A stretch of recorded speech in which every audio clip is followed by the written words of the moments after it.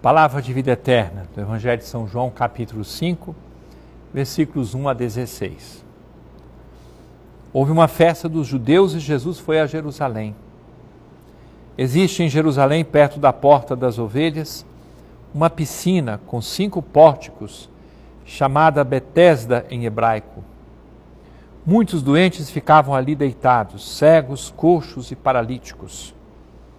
De fato, um anjo descia de vez em quando e movimentava a água da piscina, e o primeiro doente que aí entrasse, depois do borbulhar da água, ficava curado de qualquer doença que tivesse.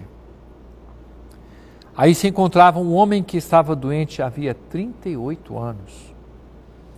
Jesus viu o homem deitado e, sabendo que estava doente há tanto tempo, disse-lhe: Queres ficar curado? O doente respondeu: Senhor, não tenho ninguém que me leve à piscina quando a água é agitada. Quando estou chegando, outro entra na minha frente. Jesus disse: Levanta-te, pega a tua cama e anda. No mesmo instante, o homem ficou curado, pegou a sua cama e começou a andar. Ora, esse era um dia de sábado. Por isso os judeus disseram ao homem que tinha sido curado: é sábado, não te é permitido carregar tua cama. Ele respondeu-lhes: Aquele que me curou disse: Pega a tua cama e anda.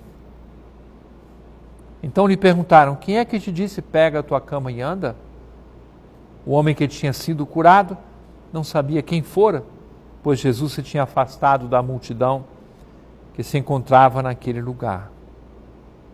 Mais tarde, Jesus encontrou o homem no templo e lhe disse: Eis que estás curado, não voltes a pecar, para que não te aconteça coisa pior. Então o homem saiu e contou aos judeus que tinha sido Jesus quem o havia curado. Por isso os judeus começaram a perseguir Jesus, porque fazia tais coisas em dia de sábado. Nosso Senhor vai ao encontro daquele homem estava ali prostrado, sempre dependendo dos outros. Nem queria fazer a sua própria parte. E Jesus, quando o cura, lhe diz: pega a tua cama e anda. E mais tarde diz que não aconteça coisa pior. O Senhor vem ao nosso encontro, ao encontro das nossas enfermidades, das fraquezas, dos muitos limites que temos, nós todos. No entanto, Ele quer que nós estejamos dispostos diante da força da Sua palavra. Ele quer que nós tomemos aquele leito no qual estamos prostrados, o leito, quem sabe, dos nossos pecados, a nossa preguiça, nossa falta de ânimo para enfrentar as dificuldades. A graça tenhamos a certeza, não nos falta.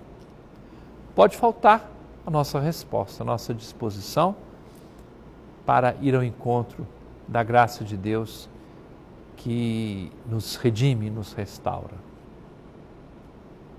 É palavra de vida eterna.